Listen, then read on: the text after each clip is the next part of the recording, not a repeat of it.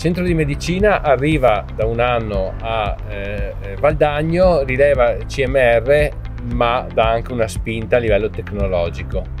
Sì, noi siamo arrivati qui da circa un anno e mezzo e siccome stiamo ristrutturando eh, la, la, la, struttura, ampliandola, quindi con altri quattro ambulatori, abbiamo visto che il mammografo era un po' datato, quindi abbiamo pensato subito di acquisire una nuova struttura tecnologicamente avanzata come il mammografo con la tomosintesi e quindi oggi siamo qui a inaugurare questa nuova apparecchiatura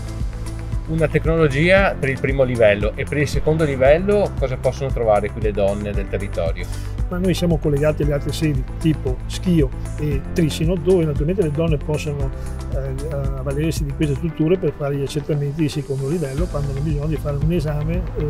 presso la risonanza magnetica. Oggi quindi la prevenzione è sempre più sul territorio e fatta da strutture come questa